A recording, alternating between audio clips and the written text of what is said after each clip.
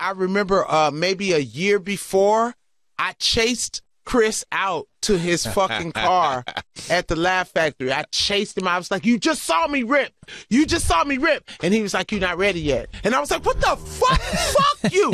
Fuck you. What the fuck does ready fucking mean, motherfucker? I'm fucking ready." He was like, "You're not fucking ready." And got in his car. I was like, "Oh, fuck that guy.